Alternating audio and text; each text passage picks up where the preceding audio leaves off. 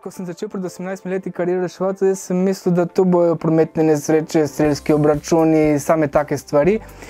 In ja, je nekaj tega, ampak 95% so pa srčno-žilne bolezni. In rak, sladkorna in stvari, za katere smo izključno odgovorni sami in v veliki meri nepravilna prehrana. Tako da to me zelo žalosti in žalosti me pa to, da zbolevajo pa vedno mlajši. In je tukaj zdaj na nas, da z ozaveščanjem, z zgledom, da pokažemo, da se da nekaj narediti tudi v tej smeri. Ker ko si enkrat ali v rešilcu ali na bolniški postelji, potem je zelo težko spremeniti nekatere stvari. Lahko pa spremenimo vsak dan.